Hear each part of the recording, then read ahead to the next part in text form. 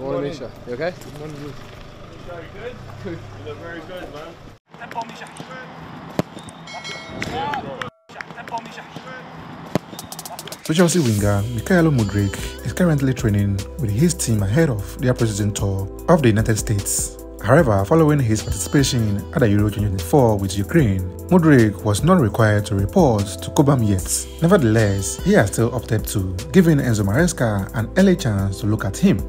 Chelsea believe Maresca's style will suit Mudryk, but only time will tell. The 23-year-old will be hoping to tie down a regular spot under the Italian. He was constantly in and out of the team last season, making 18 starts and 13 substitutes appearances in the Premier League. He is now trying to show that seriousness and focus on the new Chelsea manager.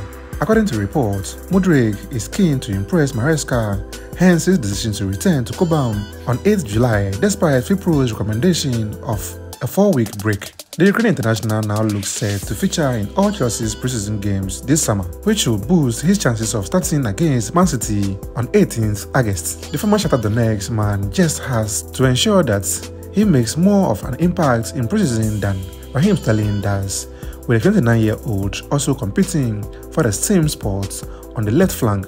The 23-year-old isn't giving up anytime soon, as he was spotted at training having constant conversations with a new manager. He is determined to make a good impression in training. The idea is to impress his latest manager with his dedication, and we are sure Maresca appreciates it. Best wishes to our star boy Mudryk, and we hope he comes good in the upcoming season.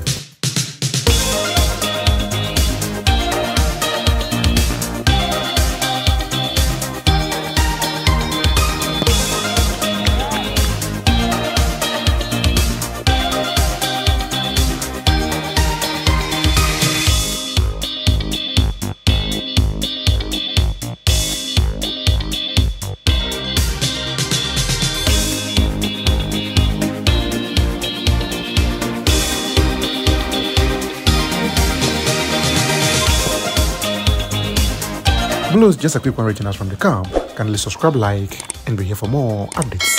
Thanks for watching.